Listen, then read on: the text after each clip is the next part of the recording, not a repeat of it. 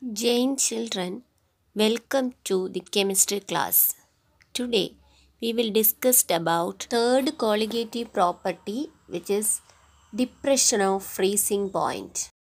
You know colligative properties are properties which depends on the number of solute particles not on their nature. So they are relative lowering of vapor pressure, elevation of boiling point, depression in freezing point and osmotic pressure. Now we will discuss about depression of freezing point. You know freezing point is the temperature at which the vapor pressure of the substance in its liquid phase is equal to its vapor pressure in its solid phase. So the liquid phase and solid phase both having same vapor pressure that particular temperature is known as freezing point of that substance. We already studied that when a non-volatile solute is added to a volatile solvent then the vapor pressure of the corresponding solution decreases. That is the vapor pressure of a solution is less than that of the vapor pressure of pure solvent is the graphical representation of vapor pressure against temperature of a pure solvent and a solution. Then in this, this is a graph of liquid solvent and this is the graphical representation of solid solvent or frozen solvent. Then this is the graphical representation of solution. Then here you can see when this is the temperature axis when temperature decreases then the vapor pressure also decreases. Temperature decreases the vapor pressure of the solvent also decreases.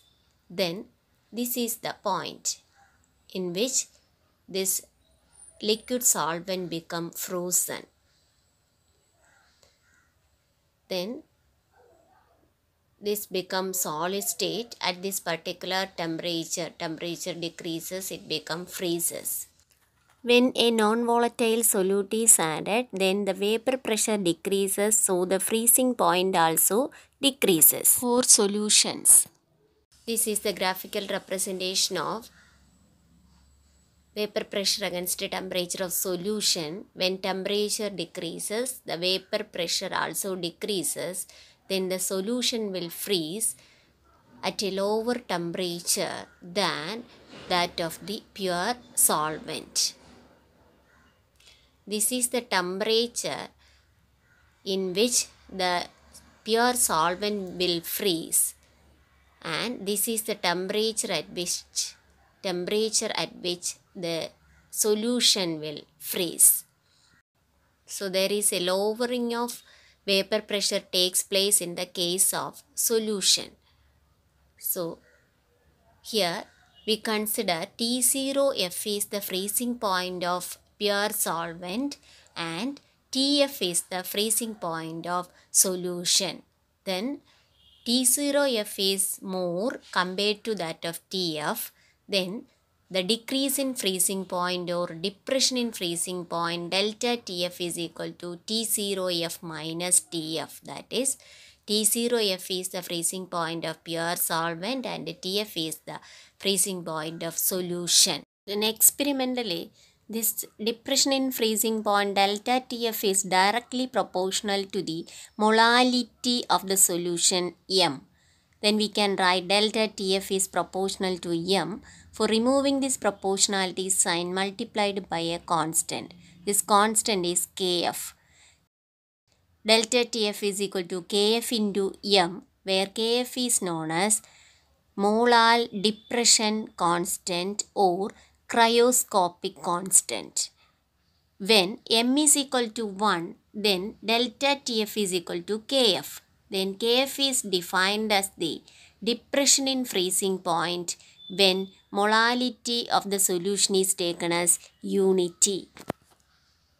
We know molality is equal to the number of moles of solute dissolved in 1 kilogram of solvent. Then number of moles is equal to given mass of solute divided by molar mass of solute Then mass of solvent in kilogram is equal to mass of solvent divided by 1000.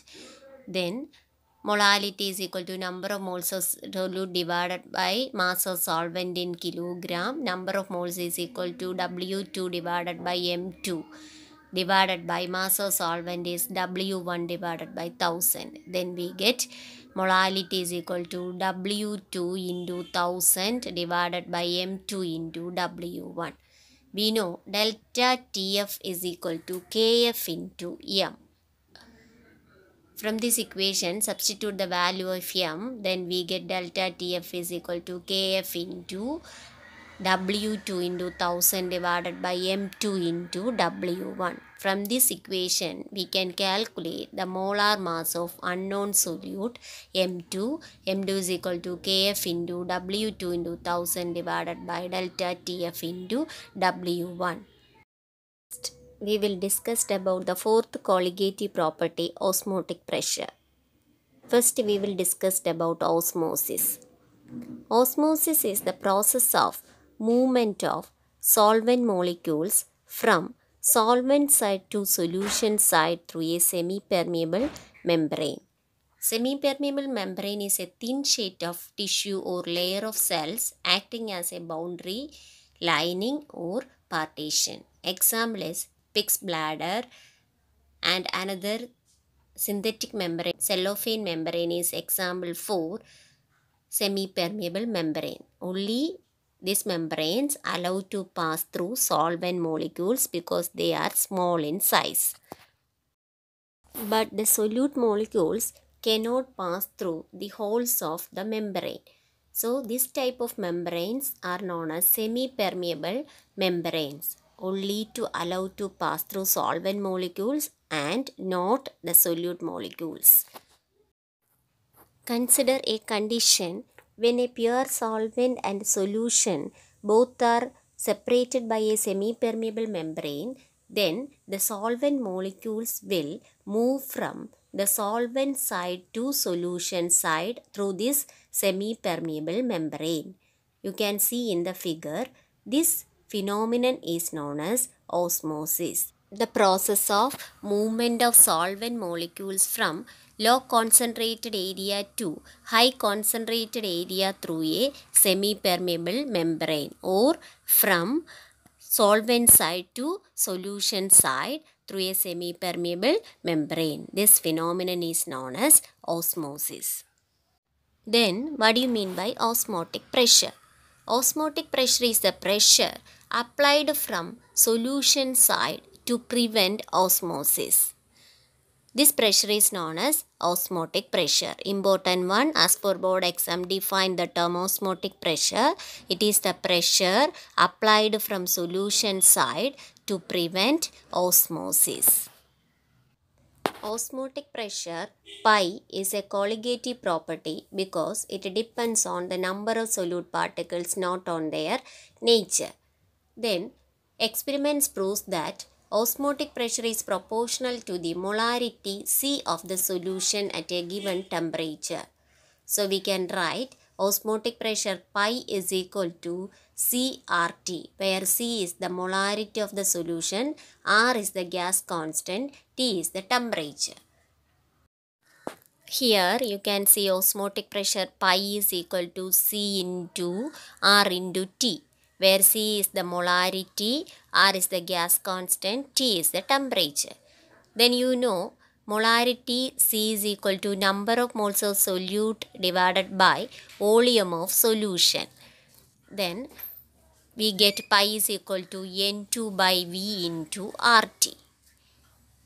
Then number of moles N2 can be calculated as W2 divided by M2 weight of solute divided by molar mass of solute. Then substitute the value in the equation pi is equal to W2 into RT divided by M2 into V. From this equation, we can calculate the molar mass of the unknown solute M2. M2 is equal to W2RT divided by pi into V. Osmotic pressure method is used to calculate the molar mass of proteins, polymers, macromolecules, etc. Because of the following advantages. Number 1. Pressure measurement is around the room temperature.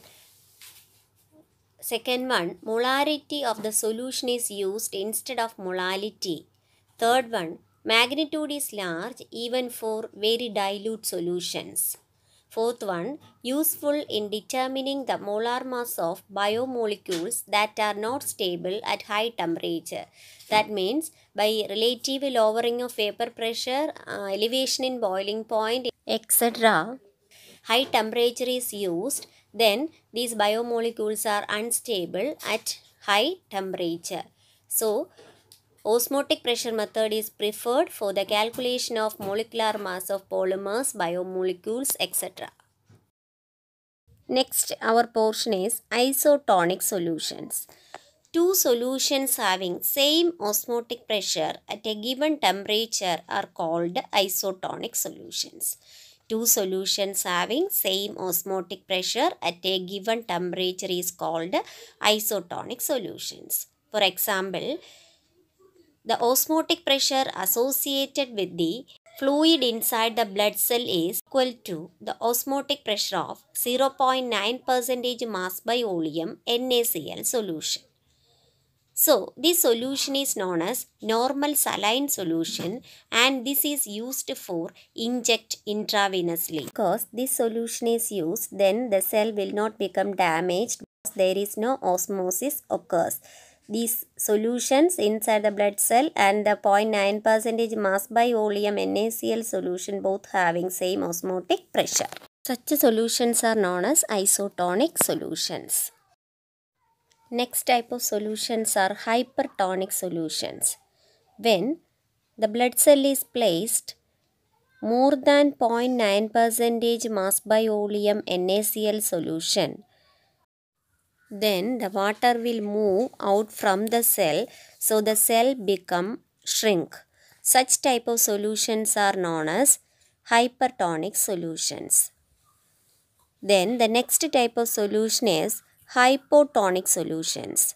When a blood cell is placed in less than 0.9 percentage mass by volume NaCl solution, then the water will enters into the cell because from low concentration to high concentration, the outside less concentration, inside the blood cell more concentration. So, the water will enters into the cell and the cell become swell up. A person who highly consumed salt due to osmosis the water will fill up in the tissues and the space between them and this condition is known as edema. Another application of osmosis is to preserve meat it is placed in high concentrated salt and the fruits are preserved by putting it in sugar solution etc. Next our topic is reverse osmosis. You know osmotic pressure is the pressure applied from solution side to prevent osmosis. Then when a pressure greater than osmotic pressure is applied from solution side then the solvent molecules from solution side move from solution side to solvent side. This is the reverse process of osmosis. So it is known as reverse osmosis. Important application of reverse osmosis is the desalination of seawater or purification of seawater. So it is an important question in examination point of view what is reverse osmosis and write one of its application. So reverse osmosis is defined as when a pressure greater than osmotic pressure is applied from solution side then the solvent molecules will move from solution side to solvent side. Through semi-permeable membrane this process is known as reverse osmosis. Important application is desalination of seawater. So our colligative properties are over. Thank you.